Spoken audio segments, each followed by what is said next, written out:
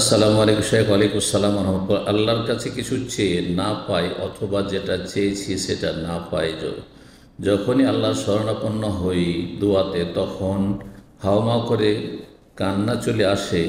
লোক দেখানো মোটেও না, চেয়ে না পাওয়ায় অভিমানে। এখন এই কান্না কি জায়েজ?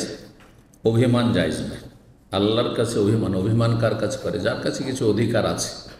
আল্লাহ রব্বুল্লাহর কাছে আপনার কি অধিকার আছে? আপনি কি আল্লাহ রব্বুল আলমের কাছে হক রাখেন যে আপনার কাছে আপনাকে, আপনি এবং আপনাকে যাকে যদি সব আল্লাহর, সুতরাং আপনার এমন কিছু নেই। যার ফলে এই অভিমান শব্দটি বলেছেন যে অভিমানে কান্না, এটি জায়জ নয়, এটা ভালো কাজ নয়। এটা মোত্তাকি পরেজার ভালো মানুষের বৈশিষ্ট্য নয়।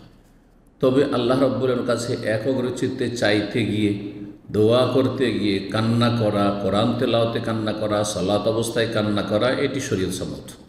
কোরআনে কেরিমে রসুল্লাহ ইসলাম হাদিসে এর প্রশংসা করা হয়েছে, খর্র সুজ্জাদা ও বুকিয়া।